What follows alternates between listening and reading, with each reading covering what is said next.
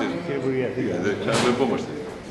Το- Εγώ θα ήθελα καταρχήν να έχουμε μια ευκαιρία μα, μακρά συζήτηση. Πραγματικά. θα ήθελα να προσλάβω και τις προσωπικές σας απόψεις και την αντίληψή σας για το Κυπριακό και τις δυνατότητες. Α, Στο συγκεκριμένο θα ήθελα να σας πω ότι είμαι ευχαριστημένος στο θέμα της άμυνας γιατί καταλαβαίνω ότι έχει δημιουργηθεί και στην α, Κύπρο η- η αντίληψη που μόλις εκφράσατε. ότι Η άμυνα απαιτείται. Δεν είναι. Εντάξει, Κύπρος δεν είναι ένα μεγάλο κράτος, αλλά αυτό δεν σημαίνει ότι δεν έχει δυνατότητες. Έχει ένα τεράστιο γεωγραφικό πλεονέκτημα και αυτό το πλεονέκτημα το βάζει και σε μια θέση που θα μπορούσε να επηρεάσει και εξελίξεις και δυνατότητες. Παράδειγμα, η προσπάθεια με την Αμάλθεια για τη Γάζα τώρα.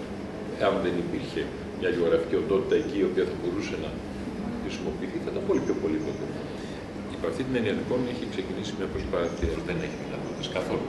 Αντιθέτως, και θεωρώ ότι και οι εξελίξεις στα συστήματα και στον τρόπο διεξαγωγής των πολιτών. Οπότε θα σας αναμένουμε στην Κύπρο Ωραία. για να τα πούμε εκτενέστερα. Ευχαριστώ Καλή πολύ. συνέχεια. Καλή Να είστε συνέχεια. καλά κι εμείς.